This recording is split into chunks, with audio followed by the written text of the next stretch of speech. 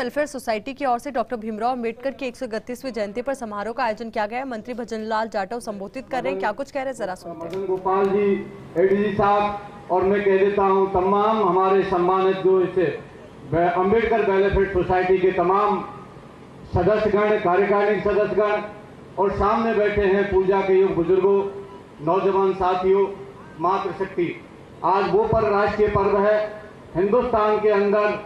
सब त्योहारे मनते हैं, परंतु अंबेडकर जयंती का जो राष्ट्रीय पर्व है, इससे बड़ा पर्व कोई राजस्थान, क्या हिंदुस्तान में कोई हो नहीं सकता। क्योंकि आज जिस शख्सियत की वजह से,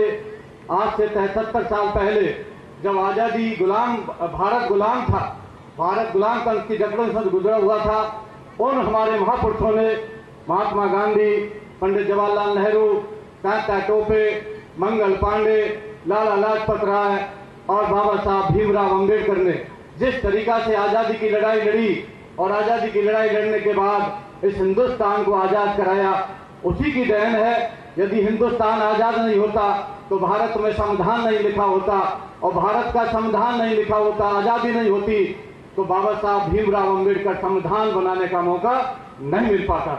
तमाम जो उस टाइम की सरकारें थी, उन्होंने बाबा साहब को निवेदन किया कि आप लोग संविधान बना सकते हैं तभी जाके आज इतना विशाल संविधान, इतना बड़ा लोकतंत्र, इतना बड़ी डेमोक्रेसी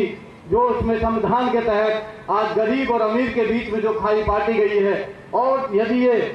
जो बाबा साहब भीमराव अंबेडकर जी ने एक वोट की ताकत दी, उसी के बीच गरीब और अमीर की खाई को पूरा करने का काम उस लोकतंत्र तहत किया जाता है। साथियों, में ये चीज़ें इसलिए कह रहा हूँ, ज़्यादा बातें तो माननीय मुख्यमंत्री जी आपको बताएँगे, पर उसी विचारधारा को जिस तरीका से महात्मा ज्योतिलाल भूले की विचारधारा थी और बाबा साहब भीमराव अंबेडकर साहब की विचारधारा थी, उसी विचारधारा को आगे बढ़ाते हुए आपने देखा बुलेटिन में फ़िलहाल के लिए इतना ही, और खबरों के लिए आप बने रहिए फ़र्स्ट इंडिया के साथ। नमस्कार।